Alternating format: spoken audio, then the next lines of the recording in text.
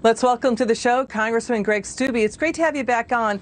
Is the Biden administration doing payback now? Because the Washington Post is reporting that the Biden administration is getting the Justice Department to do a leak investigation of Republican whistleblower Kash Patel, who called out the FBI for spying abuses during the Trump Russia probe. Are they doing payback here?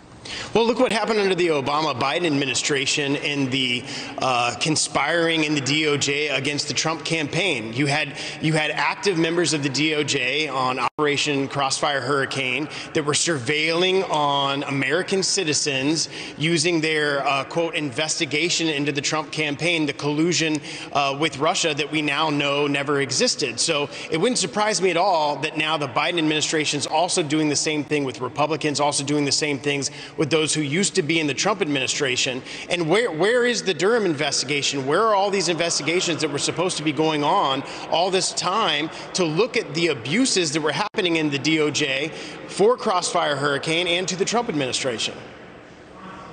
We've got, you know, Kash Patel worked for House Republicans on House Intelligence. He worked in the Office of the Director of National Intelligence. He was basically saying, wait a second, there are abuses of uh, constitutional rights in the FBI spying uh, on the Trump Russia, uh, the Trump campaign in the probe. That you know, here's the thing, Congressman. You know, the DOJ watchdog said it was was uh, botched. Uh, you know, the FBI official James Comey, Peter Strzok James Clapper, they would all later say they didn't have a case for collusion, but now we have them going after Kash Patel in some kind of deep state intelligence agency complaint to go after Patel.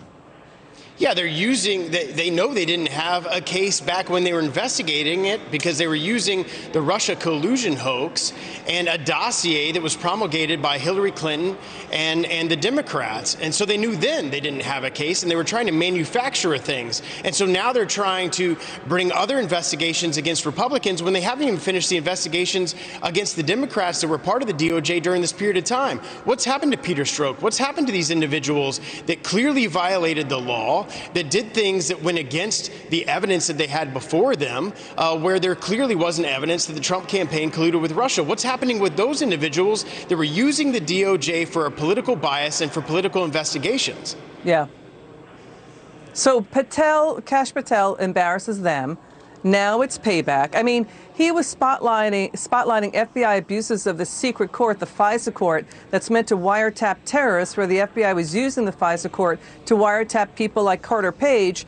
Now we've got the ACLU at the Supreme Court saying, open up the FISA court because uh, basically we've got a lot of surveillance of Americans that we saw in the FBI Trump Russia probe that was roundly criticized and condemned as botched.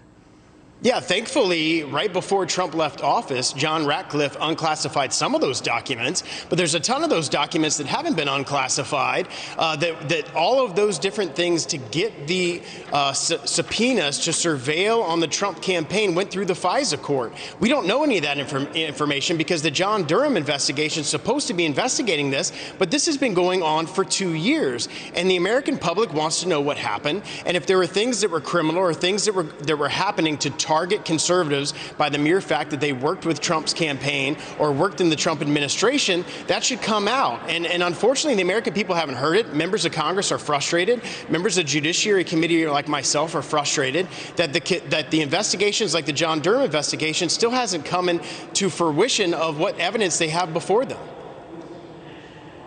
All right, Congressman Steube, thanks for joining us. It's good to see you. Thanks for Come having back. me.